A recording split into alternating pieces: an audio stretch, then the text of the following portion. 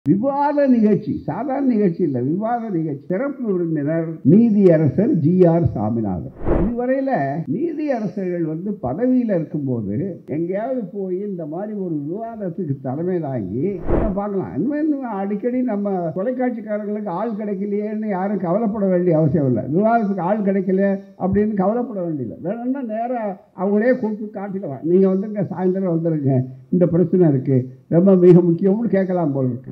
ஒரு ஆபத்து இருக்கிறது. அதுவும் அண்மையில் எது நடந்தாலும் பல்கலைக்கழகத்தினுடைய துணைவேந்தரா அல்லது வெவ்வேறு பதவிகளா எது போனாலும் நீங்க ஆர்எஸ்எஸ் கார்டு ஹோல்டரா? அதுதான் மிக முக்கியம். ஏபிவிபியில் இருந்திருக்கீங்களா? அதை வைத்து தான் பல துணைவேந்தர்கள் அதை வைத்து தான் பல தேர்வு தேர்வு செய்கிறவர் அங்க இருக்காரு. பரிமாறுறவன் நம்மளா இருந்தா பந்தியில எந்த இடத்துல உட்கார்ந்தா இருந்தாலும் ஒரு பழமொழி உண்டு கிராமத்துல. அவர் கவனிச்சுக்குவார் கூறாம. ஆகவே அப்படிப்பட்ட ஒரு சூழ்நிலையில இன்றைக்கு அவர் வந்து அமர்ந்து கொண்டிருக்கக்கூடிய அந்த ஒரு குறிப்பிட்ட நீதிபதி முழுக்க முழுக்க தன்னை ஆர்எஸ்எஸோட இணைந்து கொண்டிருக்கக்கூடியவர் என்பது வெளிப்படையாக அவருடைய பல செய்திகளில் தெரியும். நிதியமைச்சரை வந்தவங்க சொல்றாங்க. உண்டியல்ல போடாதீங்க. அதுக்கு பதிலாக அர்ச்சகத்தை கொடுங்க. இப்படி கேன்வாஸ் பண்றது வெளிப்படையாவே இன்னைக்கு.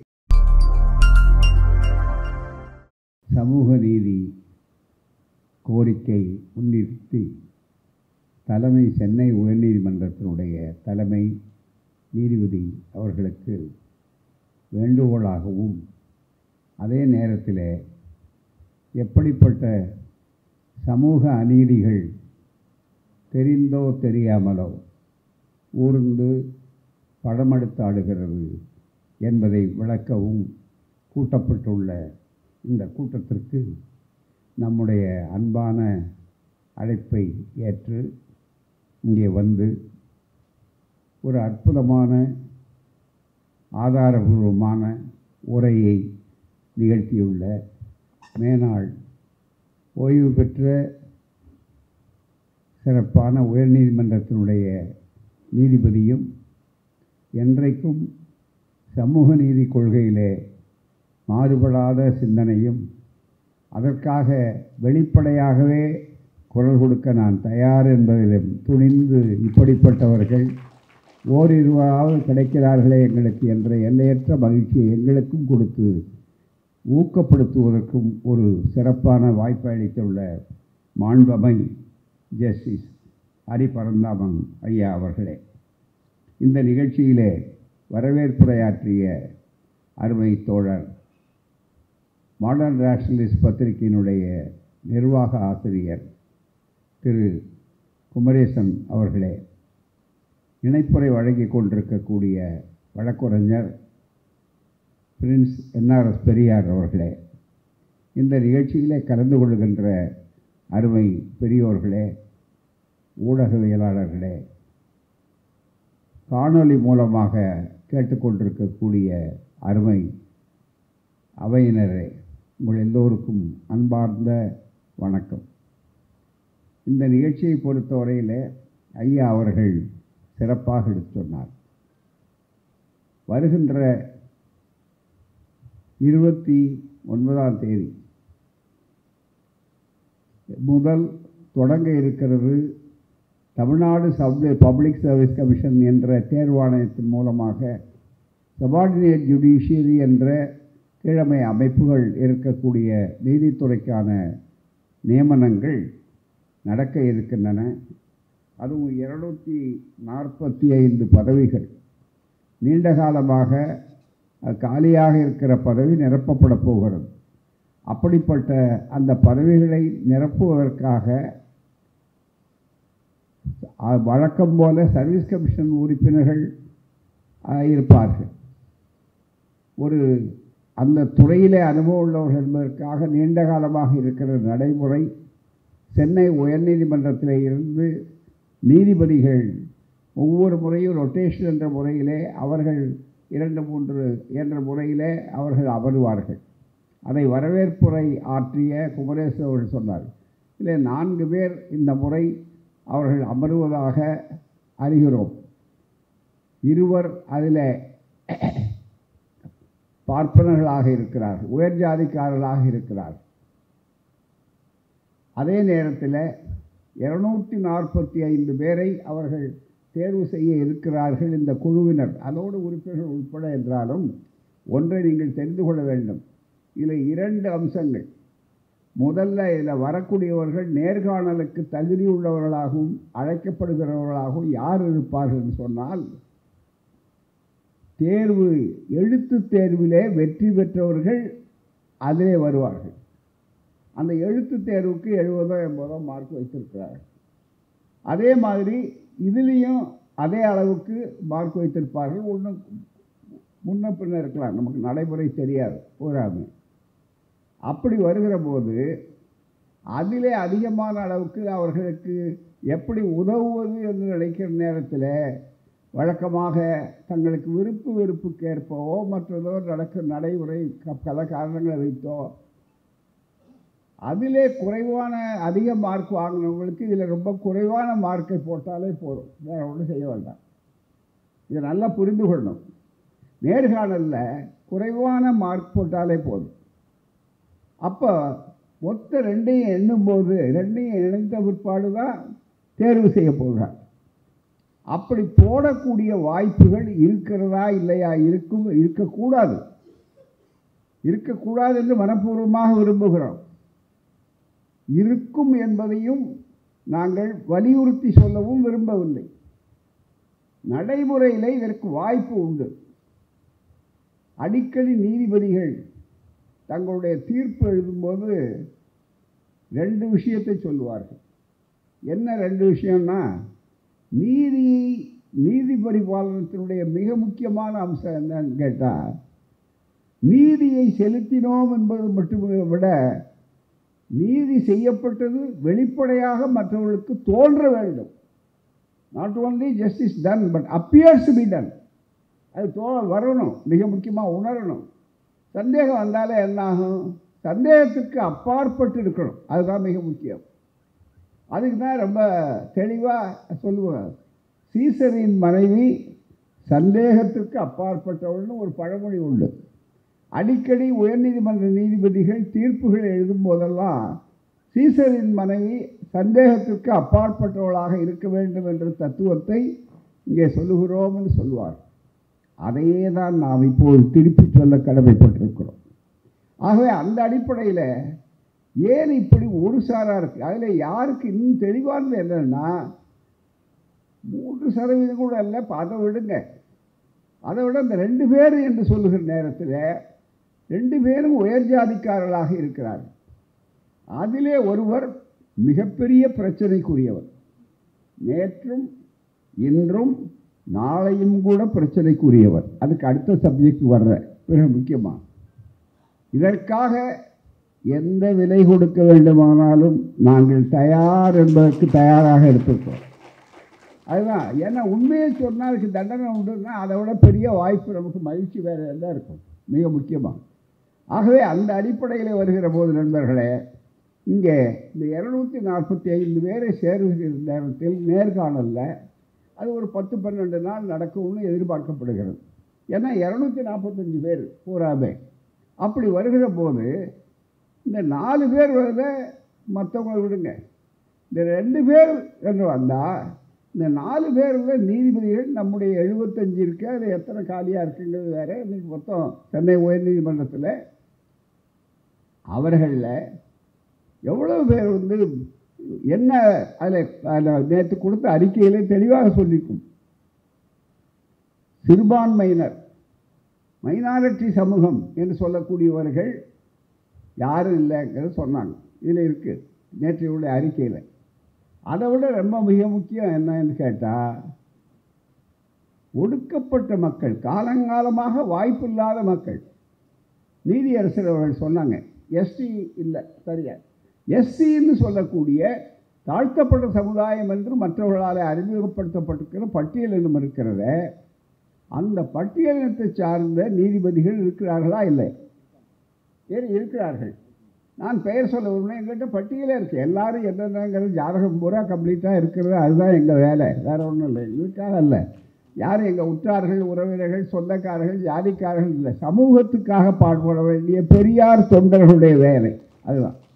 அதுக்காக என்ன விலை கொடுத்துருக்காரு? பெரியார் வந்து பல நேரங்களில் விலை கொடுத்துருக்காரு. அதனுடைய வழியை பின்பற்றித்தான் நாங்கள் கடமை ஆற்றுகிறோம். வேறு ஒன்றுமே இல்லை. யார் மேலேயும் எங்களுக்கு விருப்பு கிடையாது வெறுப்பு கிடையாது.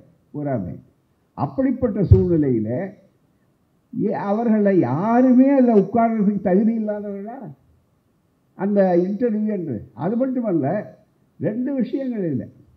அவர்களில் ரெண்டு பார்ப்பவர்கள் என்று நான் வெளிப்படையாக என்ன புரியறதுக்காக சொல்லணும். உயர் ஜாதிக்காரர்கள் உயர் ஜாதிக்காரர்னா வேறு யாரும் இருப்பாங்க. உயர் ஜாதின்னு சொல்லும்போது கூட பார்ப்பன் அல்லாத உயர் ஜாதிக்காரர்களும் இருப்பார்கள் பூராமே அப்படி யாராக இருந்தாலும் அவர்களுக்கு தெரியணுங்கிறதுக்காக தான் அடையாளப்படுத்துகிறமே தவிர நமக்கு தனிப்பட்ட முறையில் விருப்பு வெறுப்புகளை காட்டுறது அல்ல ஒரு அடையாளம் காட்டுறதில்லை அதில் மிக முக்கியமாக இருக்கக்கூடியவர்கள் ஒருவர் எப்படிப்பட்டவர்?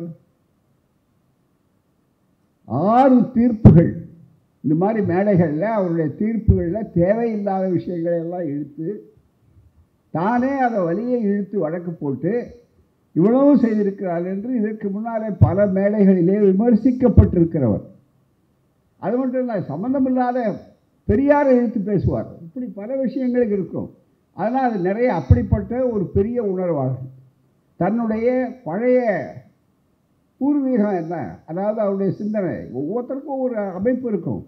ஆனால் அது அழகாக என்ன சொல்லியிருக்காருன்னா ஒவ்வொருத்தருக்கும் ஒரு கட்சியில் ஐயா சொன்னாங்க நான் கம்யூனிஸ்ட் கட்சியிலேருந்து வந்தவன். ஆனால் தீர்ப்பு எழுதுகிற நேரத்தில் உயர்நீதிமன்றத்தின் நீதிபதியான பிற்பாடு அவர் பொதுவாகிறார். அந்த உணர்வு இல்லாமல் முழுக்க முழுக்க இந்த குறிப்பிட்ட ஒருவர் தன்னுடைய பூர்வீகம் என்ன தன்னுடைய என்ன என்ன இன்றைய வரையில் அந்த கருத்தோடு இருப்பேன்னு சொல்லக்கூடியவர் தான் ஆறு தீர்ப்புகள் பிரச்சனைக்குரியதாக இருக்கும் என்ற அளவில் வெளிப்படையாகவே தன்னுடைய உணர்வுகளை காட்டிக்கொண்டு அதில் நடந்து கொண்டிருக்கக்கூடியவர்கள் அதுக்கு வேண்டிய திட்டமிட்டு வரக்கூடியவர்கள் என்ற காரணத்தாலே தான் இல்லாதது மற்றவர்களுக்கு வாய்ப்பு கொடுக்கவில்லை என்பது ஒரு பக்கம். அதே நேரத்தில் இப்படிப்பட்டவர்கள் அமர்ந்தால் என்ன ஆகும் சிலர் கேட்கலாம் எங்க அதான் ரிசர்வேஷன் இருக்குங்களே அந்த ரிசர்வேஷன் படி தானே உங்களுக்கு கொடுக்கணும்? அவங்க யார் உட்காந்தா உங்களுக்கு என்ன? என்றால் நான் சொன்ன முதல்ல சொன்னதை ஞாபகம் வைத்துக் கொள்ளுங்கள். நேர்காணலுக்கு தனி மரியாதை தனி மதிப்பு மதிப்பெண் மார்க்கு அதை வைத்துக்கொண்டு தான் அவர்கள் மொத்த டோட்டல் வரணும்.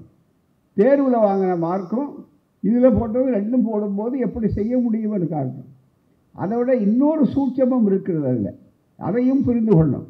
என்னன்னு கேட்டால் இப்போ இல்லை இத்தனை இடம் இருக்குது அதுதான் ரிசர்வேஷன் படி இருக்க.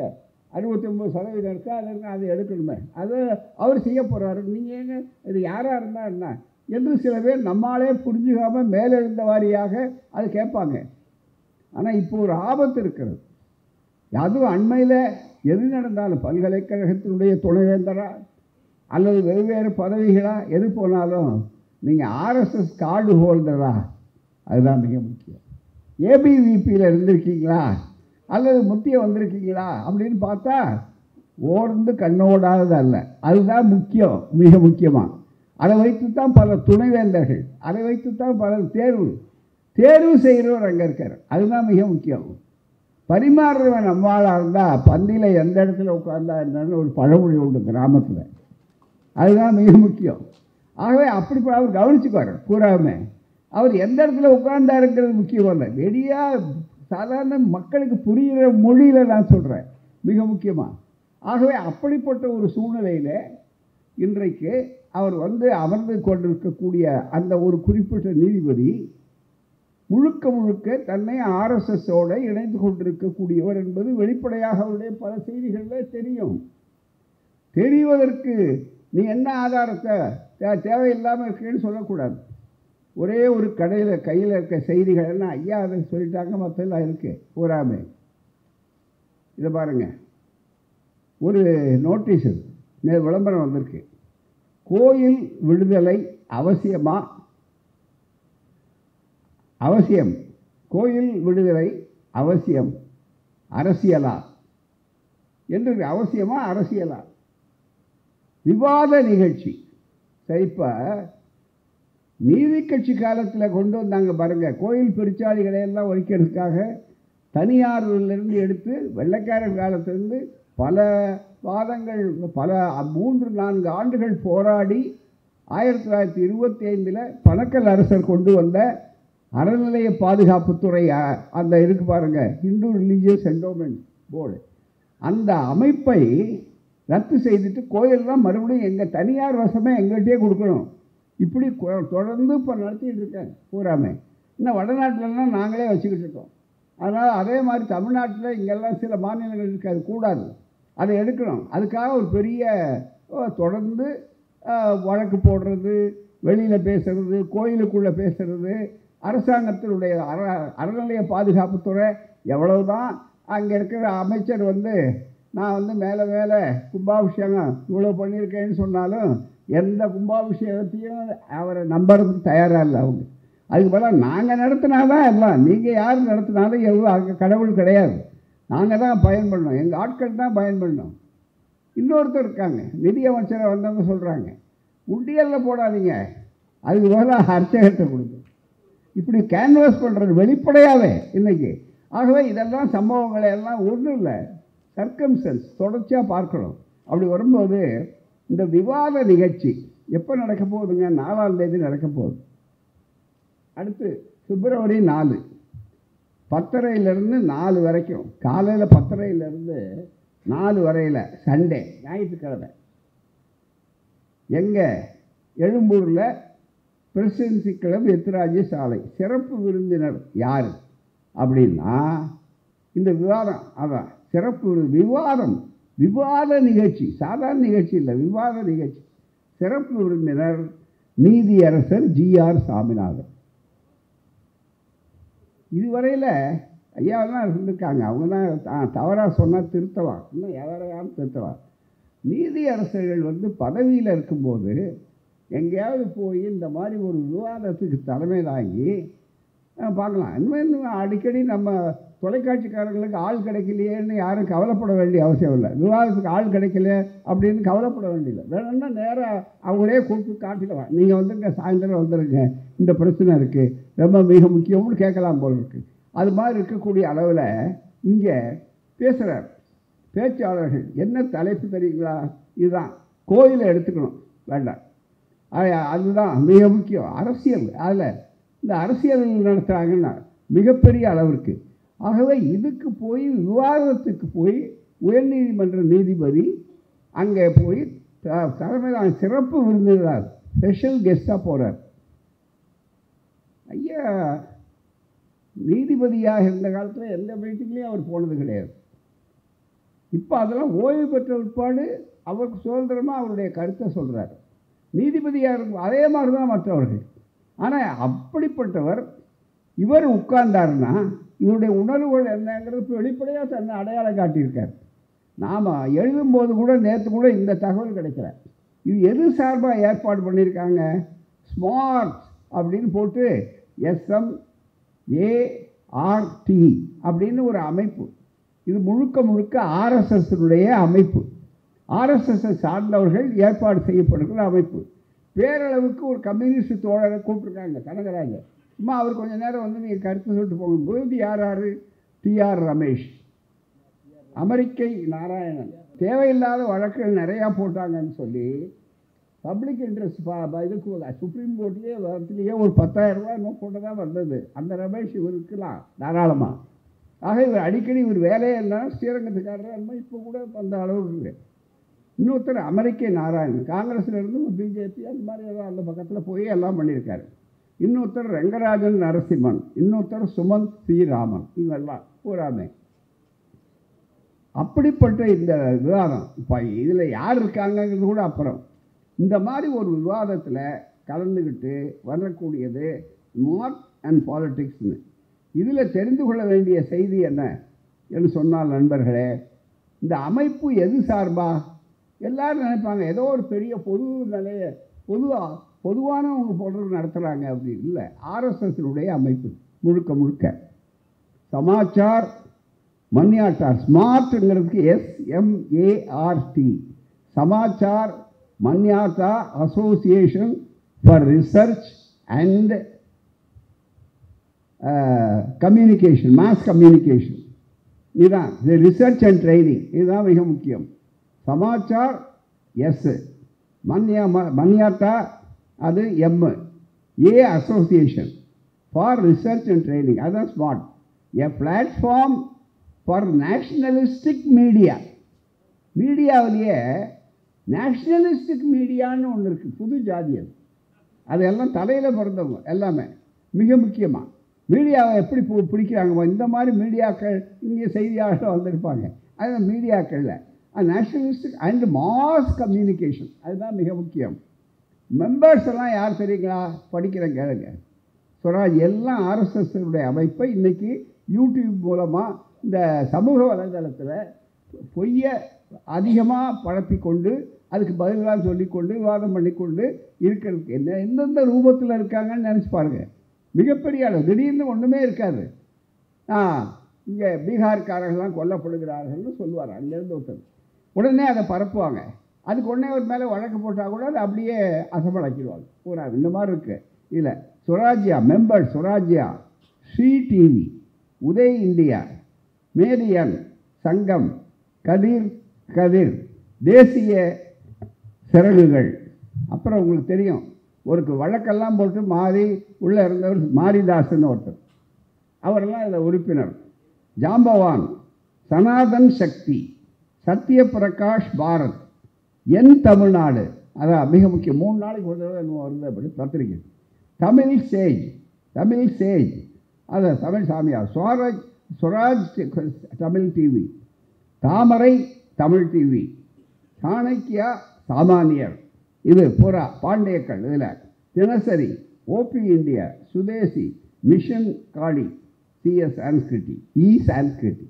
இவ்வளவும் இருக்கக்கூடியது தான் இந்த அமைப்பு. இந்த அமைப்புகள் அவங்களுக்கு உரிமை இருக்குது வைக்கிறாங்க. அந்த அமைப்புகள் கூட்டுறதை பற்றி நம்ம கவலை இல்லை. ஆனால் அதில் யார் சிய தலைமை விருந்தினர்னா அன்றைக்கு இன்றைக்கி உட்கார்றதுக்கு நாளில் ஒருத்தராக இருக்கார் பாருங்க. அவர் தான் இங்கே மிக முக்கியமாக இதை முடிச்சுட்டு அங்கே போய் அது ஞாயிற்றுக்கிழமை போகிறார் இது மாண்புமிகு தலைமை நீதிபதி அவர்கள் போன்றவர்களுக்கும் உச்சநீதிமன்ற நீதிபதிகளுக்கும் மற்றும் உச்சநீதிமன்ற தலைமை நீதிபதிகளுக்கும் இது தகவல் போய் சேரணும். அதுக்காக தான் சொல்கிறோம் நம்ம தனிப்பட்ட முறையில் அவருக்கு யாரும் நமக்கு கிடையாது கூறாமை வேறொரு விஷயத்தில் அவர் ஒரு கடிதம் எழுதியிருக்கார் எனக்கு. அது தேவையானப்போ வெளியே வரும். இப்போ சொல்ல வேண்டிய அவசியம் இல்லை. எதுக்காக எந்த சம்பந்தங்கிறத பற்றி ஆகவே அதை பற்றியும் நம்ம கவலை இல்லை. ஆனால் அதே நேரத்தில் இப்படியெல்லாம் முழுக்க முழுக்க இவர்கள் வந்திருக்கிறார்கள்னா இவர்கள் யாருக்காக எந்த கொள்கைக்கு அந்த கொள்கை எப்படிப்பட்டதுங்க? அரசாங்கத்தினுடைய அரசியல் சட்டப்படி உருவாக்கப்பட்ட ஒரு அமைப்பு இலாக்கா இங்கே இந்து அறநிலைய பாதுகாப்புத்துறை தணிக்கை எல்லாம் இருக்குது இன்னும் கேட்டால் அது ரொம்ப தேவைங்கிறதுக்காக பழைய அரசாங்கத்திலேயே sir C P Ramaswamy Iyer தலைமையில் ஒரு கமிஷன் போட்டு அது எப்படி இந்த சிலைகள்லாம் திருட்டு போகுது சாராயத்துக்காக சாராயத்துக்காக சிலையை வைத்திருக்கிற அர்ச்சகர்கள் எத்தனை பேர் இருக்காங்கங்கிறதெல்லாம் மிக முக்கியமாக சர் சிபி கமிஷனில் சொல்லியிருக்காங்க. அதெல்லாம் வேறு. இப்போ நான் அந்த இடத்துக்கெல்லாம் போகவில்லை. இப்போ நமக்கு தேவையானது இந்த பிள்ளைகள் இரநூத்தி நாற்பத்தஞ்சு இடம் அந்த இடத்தை நிறைவேற்றுவதற்கு அதை நிரப்புவதற்கு நியமனம் செய்வதற்கு மற்றவர்கள் ஏன் இல்லையா? அது மட்டுமே இல்லை இன்னொன்று என்னன்னா மாண்புமிகு தலைமை நீதிபதி வெளி மாநிலத்திலிருந்து வந்தவர். அவருக்கு தெரியணும். அதுதான் மிக முக்கியம். அவர் நேர்மையாக அவருடைய பணியை அவர் செய்கிறார். அவருக்கு ஒன்றும் விருப்பு வெறுப்பு இருக்குது அது மாதிரி அவர் இல்லை. பல இந்த என்ன சூழ்நிலையை அதை பார்த்து சட்டப்படி செய்கிறார். ஆகவே தான் அவருடைய அவருக்கு பல காரணங்கள் எதனால் எப்படி தேர்வு நடந்ததுன்னு தெரியாது. ஆனால் இந்த உணர்வுகள் எப்படி இருக்குன்னா தமிழ்நாட்டில் இருக்கிற உணர்வுகள் இருக்க இது எண்ணிக்கையை பொறுத்ததல்ல. இந்த எண்ணம். அதுதான் அழகாக ஏற்கனவே நடந்து இருக்கக்கூடிய ஒரு உத்தரவை அழகாக ஐயா துவங்கும் போது சொன்னார். உயர்நீதிமன்ற நீதிபதிகள் ஆறு பேரும் ஒரே ஜாதியை சார்ந்தவர்களாக இருந்த நேரத்தில் எம்ஜிஆர் அவர்கள் அரசாங்கத்தில் இப்படி நாம் எழுதினோடனே எம்ஜிஆர் அவர்களின் தொடர்பு கொண்டு பேசினார். நீங்கள் நேரடியாக அதுக்கு வந்து ஆனால் இப்போ போராட்டம் நடத்துங்க. ஹைகோர்ட் வாசப்படி வரைக்கும் உங்களை அனுப்ப சொல்கிறேன் என்று சொன்னார். உடனே மிகப்பெரிய அளவிற்கு அணுகு மட்டுமல்ல எழுதின ஒரு கருத்தை பற்றி அழகாக சொன்னாங்க. நம்முடைய நீதிபதி அவர்கள் சொன்னார். அறிவர்தான் ஐயா அவர் சொன்னார். நல்ல அற்புதமான ஒரு வார்த்தையை காயின் பண்ணி பயன் மத்திய அரசுக்கு எழுதினார். தி சாயில் சைக்காலஜி மண்ணின் மனோபாவம். இந்த மண்ணின் மனவாய் பெரியார் மண் இது சமூக நீதி மண்ணுங்கிறமே இங்கே வந்து நீதி கட்சி காலத்திலேருந்து இந்த ஆட்சி வந்து நூறு வருஷத்துக்கு முன்னால் இருந்து மிகப்பெரிய அளவு. இந்திய அரசியல் சட்டத்தெல்லாம் பின்னால். இந்திய அரசியல் சட்டம் வர்றதுக்கு முன்னாலேயே ஆயிரத்தி தொள்ளாயிரத்தி இருபத்தெட்டுலேயே சமூக நீதி அங்கே. அதுக்கு முன்னாலேயே ஆட்சி. அதுலாம் அதுதான் இங்கே அரசியல். இது அப்படி இருக்கக்கூடிய ஒரு சமூக வரலாறு நீண்ட பின்னணி உள்ள இந்த நாட்டு தமிழ்நாட்டுக்கு உண்டு. இந்தியாவுக்கே வழிகாட்டியதான் அன்றும் இன்றும் என்றும் பெரியார் மண்ணான சமூக நீதி மண்ணான தமிழ்நாடு. ஆகவே அப்படிப்பட்ட ஒரு சூழ்நிலையில் இன்றைக்கு இந்த அளவிற்கு இரநூத்தி நாற்பத்தி ஐந்து பதவிகளுக்கு வரும்போது எல்லாருக்கும் அந்த வாய்ப்பு வந்தால் தானே சந்தேகத்திற்கு அப்பாற்பட்ட நிலையில் அந்த நியமனங்கள் நேர்மையாக நடந்தது என்ற உணர்வு வரும். அது கேட்கறது நமக்கு உரிமை இல்லையா? சட்டப்படி இடஒதுக்கீடு சமூக நீதி என்பது சலுகை அல்ல. அதுதான் மிக முக்கியம். உச்ச நீதிமன்றத்தினுடைய நீதிபதியாக இருந்த சின்னப்ப ரெட்டி அழகாக ஒரு வார்த்தை சொன்னார். சோஷியல் ஜஸ்டிஸ்னா என்ன? சமூக நீதினா வி வாண்ட் சோஷியல் ஜஸ்டிஸ் அது எது? அரசியல் சட்டம் அளித்திருக்கிற மாற்றப்பட முடியாத அடிக்கட்டுமான உரிமை.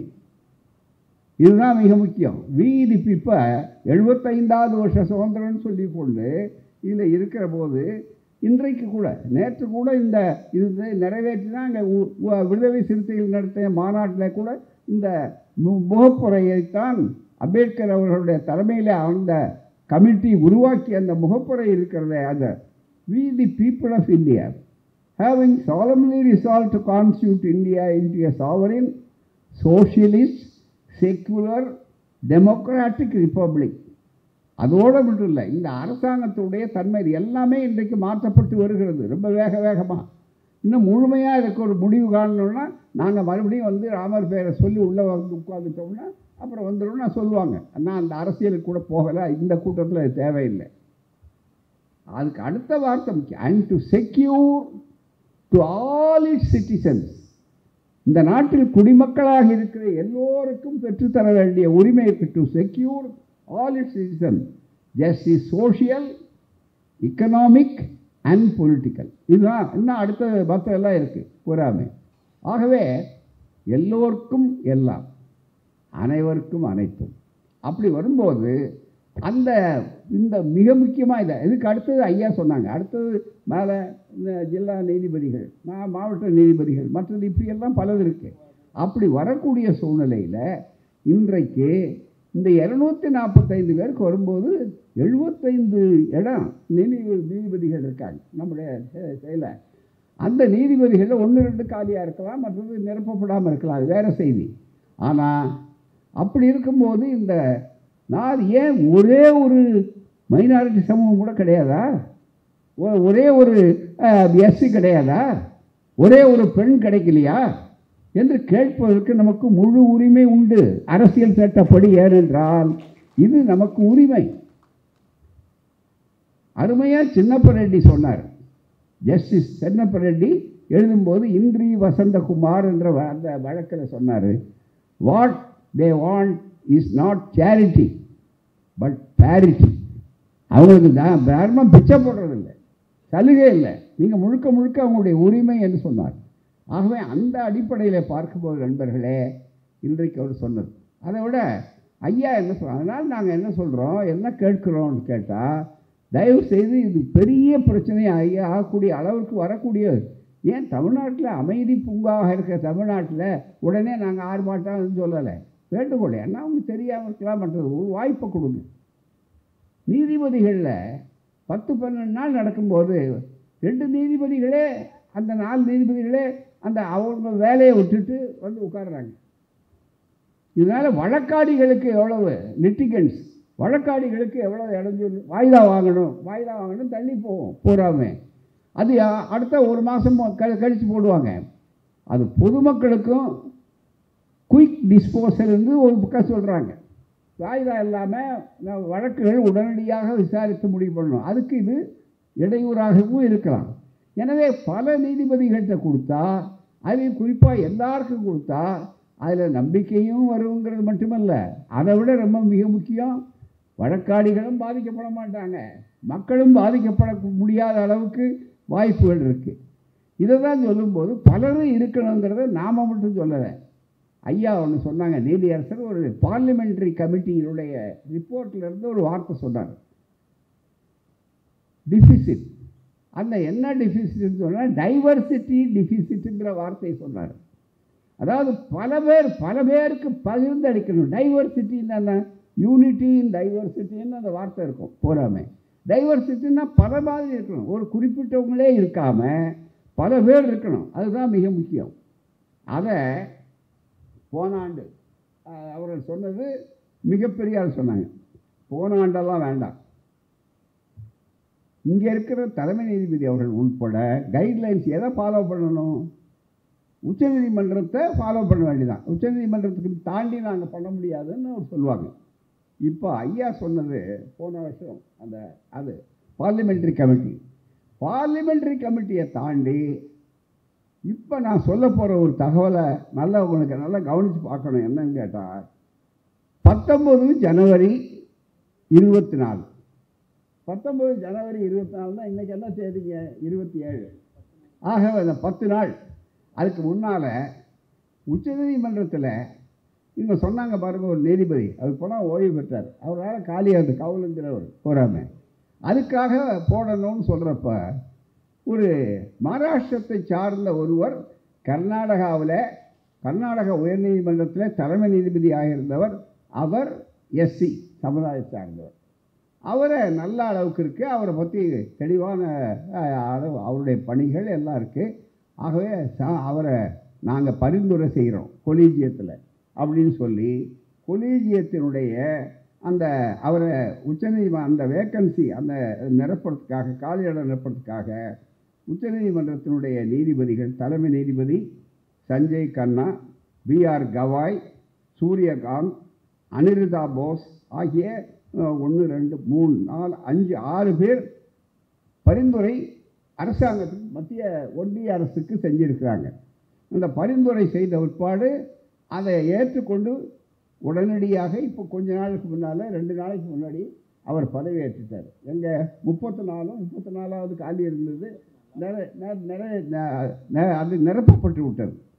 அப்போ இப்போ சுப்ரீம் கோர்ட்டில் என்ன பண்ணுறாங்க இந்த மாதிரி ரெக்கமெண்டேஷனை பண்ணால் டிரான்ஸ்பரன்சி இருக்கணும். அது மற்றவர்களுக்கு தெரியணுங்கிறதுக்காக என்ன பண்ணுறாங்க வெப்சைட்டில் போட்டுடுறாங்க உடனே. அது உடனே அந்த இணையதளத்தில் வெளியிடுறாங்க. அதுதான் என் கையில் இருக்கிறது இப்போ அந்த பத்து நாளைக்கு முன்னால் இந்த நீதிபதியை ஏன் நியமனம் பண்ணணும்னு எப்படி கொலீஜியம் அந்த முடிவுக்கு வந்தது அப்படின்னு சொல்கிறப்ப சில அளவுகோல் சில முறைகள் இன்னது தகுதி இருக்குது அப்படின்னு அவர் சொல்கிறது இருக்கு பாருங்கள் அதை நான் படிக்கிறேன் இதுதான் மிக முக்கியம் the collegium deliberated on and discuss the names of the chief justices and senior puisne judges of the high courts eligible for appointment to the supreme court the secretariat has prepared a compilation of relevant background material to assist college collegium அந்த கொலீஜியத்துக்கு வேண்டியது எல்லா விஷயங்களையும் மற்றது கூட இருந்த தலைமைச் செயலர் எடுத்து கொடுத்துருக்கு. அப்படின்னு சொல்லிட்டு ஓயில் ரெக்கமெண்டிங் அப்பாயின்மெண்ட்ஸ் சுப்ரீம் கோர்ட்டுக்கு நீதிபதி அப்பாயின்மெண்ட்டே சொல்லும்போது while recommending appointments to the supreme court the collegium has taken into consideration the following subjects following aspects நாங்கள் கீழ்க்கண்ட அம்சங்களை எல்லாம் பரிசீலிக்க வேண்டும். என்ற முறையிலே அதை பரிசீலித்து தான் இந்த முடிவுக்கு வந்திருக்கிறோம். அப்படின்னு சொல்லி ஒரு கைட்லைன்ஸ் ஒரு வழிகாட்டு நெறிமுறைகள் மாதிரி என்ன செய்யணும் என்ன அளவுகோல் பார்க்கணும்னு சொல்கிறதுக்கு தான் சொல்லியிருக்காங்க. அது முதல்ல ஐயா சொன்னாங்க பார்லிமெண்ட் கமிட்டி போன வருஷம். இது இப்போ பத்து நாளைக்கு முன்னாடி சொல்லியிருக்கிறதுல collegium a the following aspects collegium collegium taken into into the following following one day the The seniority of the chief justices and senior peonage judges in the respective parents' high courts as well as overall seniority of the high court judges. இதெல்லாம் நாங்கள் பார்த்து அதை பற்றியெல்லாம் ஆய்வு செய்து பண்ணணுன்றது முக்கியம். அவங்களுடைய seniority மற்றது இதெல்லாம். அதுக்கு அடுத்தது the merit performance and integrity of the judges under the consideration under consideration அதையும் பார்க்கணும். அவங்களுடைய நேர்மை மற்றது இதெல்லாம். அவங்கள நியமனம் பண்ணுறதுக்கு முன்னாடி. அதுக்கு அடுத்தது முக்கியம். அதுக்காக இந்த பகுதிக்காக தான் நான் இதை பூராத்தையும் உங்களுக்கு விளக்கி சொன்னேன். அதான் ஐயா சொன்னாங்க பாருங்கள் டைவர்சிட்டி டிஃபிசிட்னு அதை இப்போ எப்படி சொல்கிறாங்கன்னா we need to ensure diversity and inclusion in the supreme court by பைடி by அப்படின்னு. அதாவது பலதரப்பட்டவங்களும் எடுக்கணும். ஒரே குறிப்பிட்ட குறிப்பிட்டவர்களே எடுக்கக்கூடாது. அது மட்டும் இல்லை அப்படிப்பட்டவர்களை தேடி கண்டுபிடிக்கிற மாதிரி வந்து அவர்களை கொடுக்கணும். அதனால் the need to ensure diversity and inclusion by in the supreme court supreme court போனாலும் சுப்ரீம் கோர்ட்டுக்கே அப்படின்னா அப்புறம் இந்த அந்த மாதிரி விஷயத்தில் அது எத்தனை மடங்குக்கு தாண்டி அதிகம்? நல்லா நீங்கள் நினச்சி பார்க்கணும். And the need to ensure diversity and inclusion supreme court by a one representation of high courts which are not represented or inadequately represented in the Supreme Court. எந்தெந்த ஹைகோர்ட்டில் சரியானபடி போதிய பிரதிநிதித்துவம் இல்லையோ அல்லது போதுமான அளவு இல்லையோ அது ஒரு அளவுகோலாக பார்க்கணும். Appointment of persons from marginalise and backward segments of the society இந்த ஒடுக்கப்பட்டவர்களாக இருக்கிறாங்க பாருங்கள் ஒடுக்க சமூகத்தில் ஒதுக்க ஒடுக்கப்பட்டவர்கள். அதே மாதிரி பேக்வேர்டாக இருக்கிறவங்க. அவங்கள பற்றி சிந்திக்கணும். அவங்க அதை அது நியமனம் பண்ணும்போது இவங்களுக்கு ப்ரையாரிட்டி கொடுக்கணும் முன்னணி ஜெண்டர் டைவர்சிட்டி அதே மாதிரி பெண்களும் பல அதெல்லாம் ஆண்களாக ஒரு ஜாதியாகவே இருக்கக்கூடாது. ஜெண்டர் டைவர்சிட்டி மிகப்பெரிய அளவுக்கு மாற்றப்படுறா இருக்கணும். அண்டு கடைசி ரெப்ரசன்டேஷன் ஆஃப் மைனாரிட்டிஸ் இதை தானே எழுதியிருக்கிறோம் இதை தானே கேட்டுக்கிறோம் சுப்ரீம் கோர்ட் என்ன சொல்லியிருக்கோ அதுக்கு என்ன அளவுகோல் வச்சுருக்காங்களோ அதே அளவுகோலத்தான் இந்த அறிக்கையில் நேற்று நாங்கள் எழுதியிருக்கிறோம். அதைத்தான் தலைமை நீதிபதி அவர்களுக்கு வேண்டுகோளாக வைத்து அது நீங்கள் இந்த நாலு பேர் விஷயத்தில் பின்பற்றவில்லை. இது வெறும் நியமனத்துக்கு தான் நீங்கள் சொல்ல முடியாது. நியமனத்துக்கே இதை பண்ணும்போது மற்ற சங்கதிகளுக்கு எத்தனை முறை அதுக்கு வேல்யூ அதிகம் எத்தனை மடங்கு அதை கூட்டிக் கொள்ளணும்? ஆகவே தான் we earnestly appeal to the most honorable chief madras high court to re-examine and reappoint and reselect people because it will be satisfying all these norms as the guidelines provided by the Supreme Court in the latest one. இதுதான் மிக முக்கியம் ஆகவே தான் இதை தெளிவாக எடுத்து சொல்கிறோம் எனவே தான் ஐயா அவர்கள் ரொம்ப தெளிவாக இதை எடுத்து சொல்லி கேட்டிருக்கிறோம் இதுக்கு அவர் நாங்கள் உடனே போராட்டம் நடத்துவோம் அது பண்ணுவோம் இது பண்ணுவோம்னு எடுத்தோம்ல அறிஞர் அண்ணா அவர்கள் தந்தை பெரியாருடைய அருந்தொண்டராக மாணவராக வளர்ந்த காரணத்தினால அவர் ஒன்று சொல்லுவார். எடுத்த உடனே போராட வேண்டிய அவசியம் இல்லை எல்லாருக்கும். வாதாட வேண்டிய நேரத்தில் வாதாட வேண்டும். வாதாடுவதற்கு பயனில்லை ஆனால் பிறகு போராட வேண்டிய அவசியத்துக்கு வரும். அவசியம் வரக்கூடாது. ஏன்னா நாங்கள் ஒன்று உரிமையை சொல்லுகிறோம் நாங்கள் வந்து பிச்சை கேட்கல சலுகை கேட்கல உரிமையை கேட்குறோம். அந்த உரிமையை நியாயமாக செய்வார்கள் நம்பிக்கையோடு கேட்குறோம். ஏன்னா செய்யக்கூடிய இடத்துல இருக்கக்கூடியவர் செய்யக்கூடியவர் நேர்மையானவர்கள் அவருடைய நேர்மை அவருடைய தலை தாழாத ஒரு நீதித்தன்மை ஓர்ந்து கண்ணோடாத ஒரு நீதித்தன்மை. ஆகவே தான் அதை எடுத்து சொல்கிறோமே தவிர இல்லை. அது எல்லாவற்றையும் விட ஒரு நீதிபதி குறிப்பிடத்தகுந்த பிரச்சனைக்குரியவராக இருக்கிறவரை கொண்டு வந்து இந்த இடத்துல போய் செலக்ட் பண்ணுங்கன்னு விட்டா அவர் யாரை செலக்ட் பண்ணுவார்? அவர் என்னதான் அது என்ன அந்த உணர்வுகள் எப்படி இருக்கும்?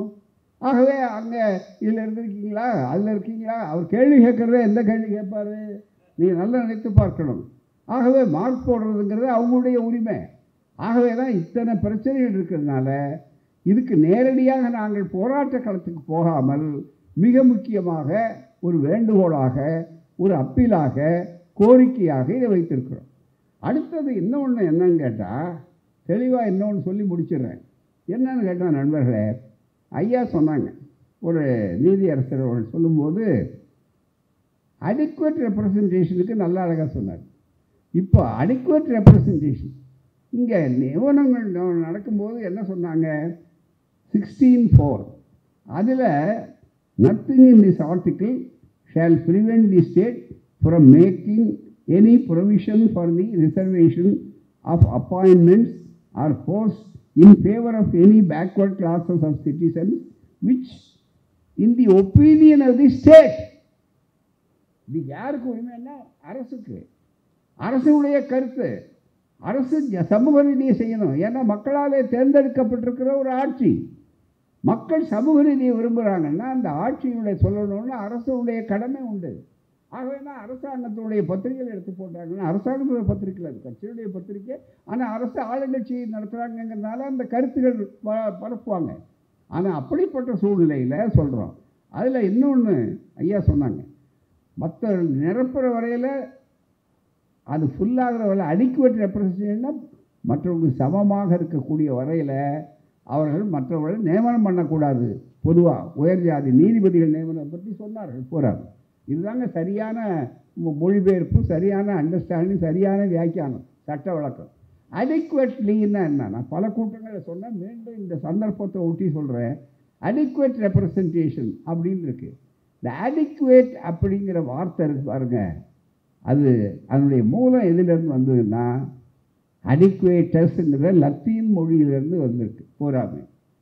அந்த அடிக்குவேட்டஸ்ங்கிறதுக்கும் அதனால் அதுலேருந்து ஆங்கில சொல்லா அடிக்குவேட் என்ற வார்த்தை வருது.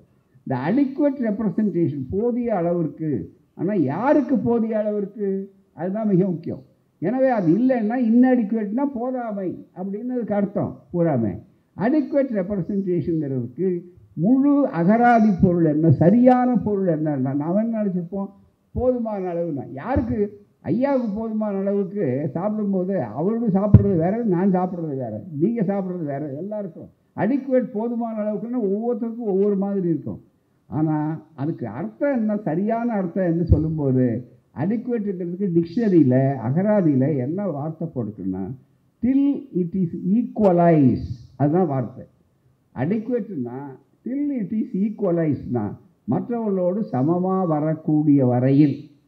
ஏற்கனவே போனாங்க பாருங்கள் மேட்டில் உட்காந்துருக்காங்க பாருங்கள் அதுக்கு சமமாக வருகின்ற வரையில் அப்படின்னு அர்த்தம்.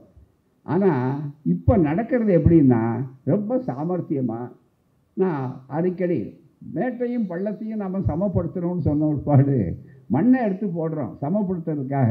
அப்போ கெட்டிக்காரத்தனமாக ஒருத்தர் சொல்கிறாரு என்னங்க சம வாய்ப்பு கொடுக்கணுங்க. ஒரு கூடை அங்கே கொட்டுங்க மேலே இன்னொரு கூடையை இங்கே கொட்டுங்க அப்படின்னா அந்த மேடு மேடாகவே உயர்ந்துகிட்டு இருக்கும் பள்ளம் பள்ளமாக தான் இருக்குமே தவிர என்றைக்கே மாறாது. இது ஒரு தந்திரமான முறை. அது அல்ல அடிக்குவேட்டுங்கிறதுக்கு ரெப்ரசன்டேஷன் அல்ல. டில்லிட்டி சீக்குவல் அதுதான் ஐயா சொன்னாங்க அதுக்காக அந்த விளக்கம் சொல்கிறேன் ஆகவே அடுத்து சமமாக வர்றவரில் வேறு நியமனங்கள் மற்றவர்களுக்கு கொடுக்கக்கூடாதுங்கிறது தான் அரசியல் சட்டத்தினுடைய உண்மையான அர்த்தம். மிக முக்கியமாக ஆகவே இப்போ அங்கெல்லாம் கூட போகலை. அது இல்லை விளக்கத்துக்காக சொன்னேன் நான். நமக்கு தேவை அது சுத்தமானவர்கள் இருக்கணும். ஏற்கனவே அவர்களுடைய என்ன ஈடுபாடுன்றது வெளிப்படையாக வந்தாச்சு. அதுக்கு ஆதாரங்கள் இருக்குது எனவே தான் இது பரிசீலிக்க வேண்டும் மீண்டும் வர வேண்டும். இல்லையானாலும் அடுத்தடுத்து நாங்கள் பல செய்திகளை யோசிக்க வேண்டி இருக்கும். தேவையில்லை அதுக்கு அவசியமே இருக்கக்கூடாது. ஏனென்றால் இருநூற்றி அஞ்சு பேர் நாற்பத்தி பேர் இருபது வருஷம் முப்பது வருஷம் மேலே இருந்து வர வேண்டியவளாக இருப்பார் அவங்கெல்லாம் கீழே. ஒரு பக்கம் அடுத்து அடுத்து அடுத்து வர வேண்டிய இளைஞர்கள். அந்த இளைஞருடைய எதிர்காலத்தையே மிகப்பெரிய அளவுக்கு திருப்பி விடுவாங்க. இப்போவே பார்த்தீங்கன்னா மற்றவர்களுக்கு வாய்ப்பு இல்லாத இருக்கு. ஆகவே நண்பர்களே இதை முழுக்க முழுக்க இதை வேண்டுகோளாக வைக்கிறோம். நிச்சயமாக அது பரிசீலிப்பார்கள் நினைக்கிறேன். இதில் வந்து அவர் வழக்கம் போல் ஐயா சொன்னாங்க. நீங்கள் எல்லாம் நல்லா செய்யுங்க. நான் பார்த்துக்கிறோம் யார் அதோடக்கு பலிகடாகிறதுங்கிறத பற்றி நமக்கு கவலை இல்லை. சமூகத்திற்கு யாராவது ஒருவர் எடுத்து சொல்லணும். அந்த வகையில் எங்களுடைய இயக்கம் இது தனிப்பட்ட முறையில் ஒரு திராவிட கழகம் மட்டும் இல்லை. எல்லா கட்சியும் ஐயா சொன்னாங்க. எல்லா கட்சியும் தமிழ்நாட்டை பொறுத்தவரையில் இந்த பெரியார் மண்ணில் இந்த சமூக நீதியில் ஒன்றா இருப்பாங்கன்னு.